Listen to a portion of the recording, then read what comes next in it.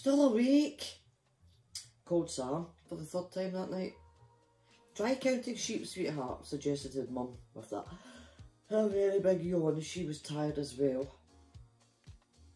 But they're all fast asleep, said Sam. Not real sheep, laughed Mum. Shut your eyes and just imagine they're jumping over.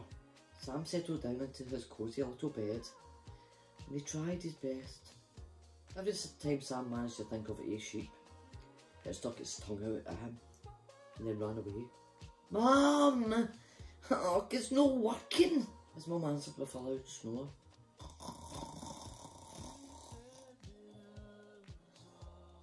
Oh, well, I'll just have to come up with my own idea, Sam said to himself. He trotted off outside into the farmyard and he had a look around. Everyone was sleeping, or almost everyone was sleeping. Sam could hear a wee clicky clicky clicky sound coming from the hen house. He knocked on the door, called softly into the hens. Suddenly Mother Hen opened the door, put her beak out and gave a wah! Wah! Do you want? she asked. Sam explained that he needed help to get to sleep. Wah! Sam needs us, clucked Mother Hen to the rest of the hens. The hens all followed Sam back to his bedroom. One by one they started flapping over the bed.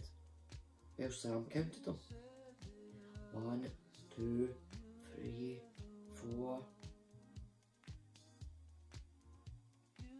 The problem was, each time they fluttered across it let out a loud squawk. I'll never get to sleep with all that noise, thought Sam. So he just said thank you to the hens and let them get back to their hen house. Those hens made such a noise that they wakened up the pigs. What's going on? They grunted. We definitely need more beauty sleep. Sam told them he couldn't get to sleep and the pigs already agreed to help him. You can count us as we trot around your bed. That's okay, help you get to sleep. Sam snuggled down under his duvet and got ready to count. But as the first pig trotted by, he left such a stinky, smelly, pooey smell behind him. Sam began to cough. When the next pig jogged round the bed, Sam's eyes started to water. Oh, I'm sorry. I don't think it's working. Uh, uh, he managed to splutter covering his nose. Oh. The pigs had finally gone back to the sty, Sam stood alone in the middle of the farmyard. I feel wide awake, he said. Henry the horse peered over the stable door. Nay, there's no good counting horses, quite simply because there is only one of us. Nay, but I can't sleep, I count all the rosettes that I've won. Got any rosettes, said Sam. But I'm getting really fed up trying to get to sleep, Henry said. I think I'll go back to my bedroom, but thank you.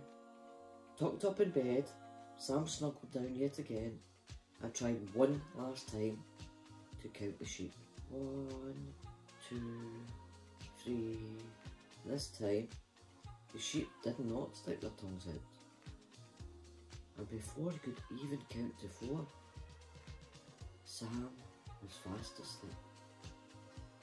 Counting sheep had worked, after all.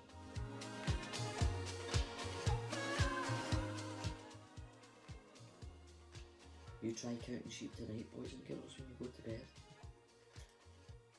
Don't be jumping outside to see if there's any chickens or any pigs or any horses. that would just be absolutely silly. You snuggle down, close your eyes, cuddle your favourite teddy bear. That's one of mine, and just count those little fluffy sheep until you fall asleep.